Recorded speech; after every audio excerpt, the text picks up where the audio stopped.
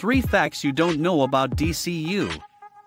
First, Wonder Woman was originally created to be a feminist icon. William Moulton Marston, the creator of Wonder Woman, wanted to create a female superhero who would be a symbol of feminist values and promote gender equality.